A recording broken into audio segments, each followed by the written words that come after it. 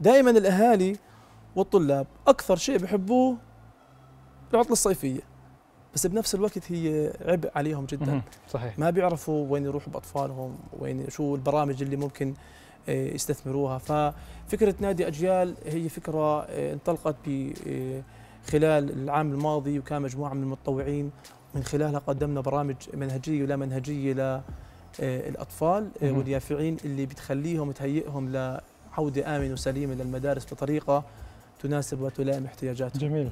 طيب آه، حسين احكي لي كيف ممكن آه، يتم استثمار الفرص المتاحة للشباب من خلال العمل التطوعي بتذكر أنا خلال تجربتي أنا آه، ما كنت أبحث عن الفرصة يعني.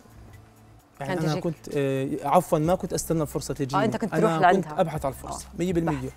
ويمكن اليوم بنشوف ال- الأغلب إنه هو بيستنى الفرصة. لكن يمكن بالفعل. اذا إذا ندوروا عليها. بدوروا عليها أو أو بنتظرها أنا الصراحة كنت ببحث عنها ب يعني بشتى الطرق. ودائما إذا الشباب بدهم يستثمروا الفرص التطوعية اليوم نحكي عن على سبيل المثال طلاب الجامعات. يعني أنا كطالب جامعة أنا اليوم بستثمر أوقات فراغي بالتطوع بتخصصي. هي التطوع ليش ثقافة.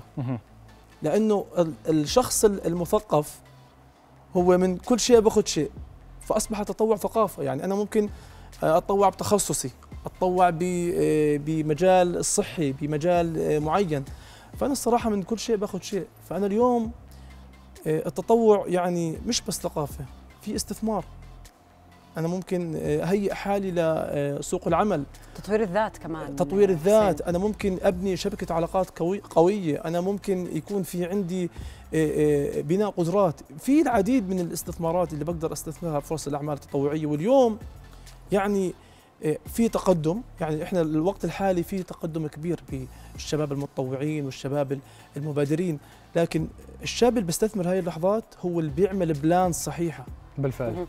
بيعمل يعني. plan يكون إنه يستمر فيها. وإحنا دائما واحد من النقاط المهمة آه، نعمل على تحقيق آه، أهداف التنمية المستدامة.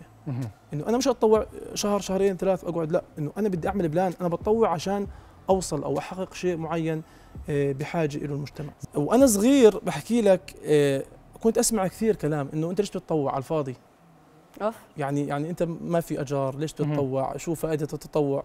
وفعليا كنت يعني آه، وين في مبادرة بتلاقيني موجود. حتى بتذكر حسين أنت كل مبادرة موجود يعني كل مبادرة موجود. الصراحة وصلت معي لمرحلة إنه الإشي صار عندي من جواتي وجدان. يعني خلص أنا بحب أتطوع. لكن أنا اليوم بشوف الصراحة إنه العمل التطوعي والعمل الاجتماعي خلاني عندي القدرة في اكتساب مهارات أنا كنت آه، غير دراية عنها.